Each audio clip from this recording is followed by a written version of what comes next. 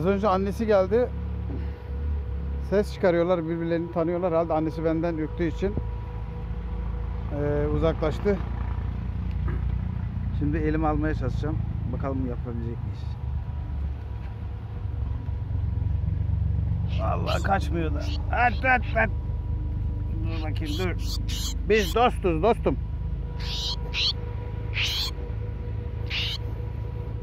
Evet buna biraz su vereceğim. Sen yuvadan mı uçtun? Sen birkaç tane solucan yemek için dere kenarına mı geldin? Şurası da dere bu arada. Oy oy oy. Tontişim. Allah hayvanları insanlardan daha çok seviyor. Zaten Peygamber Efendimiz de ahir zamanda insanların hayvanları daha çok değerlenir, insanlardan daha çok seveceğini söylüyor. E Çünkü bunlar insanları aldatmıyor. Yalan yok, hainlik yok. Dolandırmıyorlar.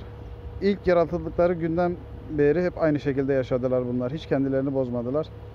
Şimdi bu minik kuşumuza, yavrumuza birazcık su verelim, biraz da pirinç yedirelim. Doğaya geri salalım mı acaba?